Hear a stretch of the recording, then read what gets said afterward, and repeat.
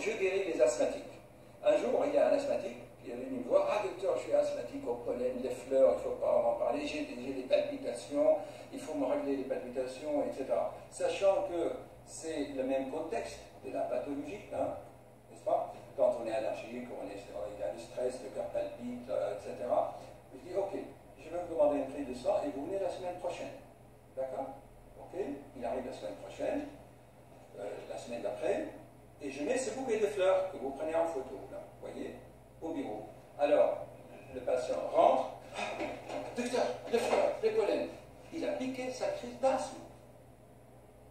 Ça y est, vous êtes content, vous avez la crise d'asthme. Venez voir, touchez les fleurs. Il touche. Il a eu honte.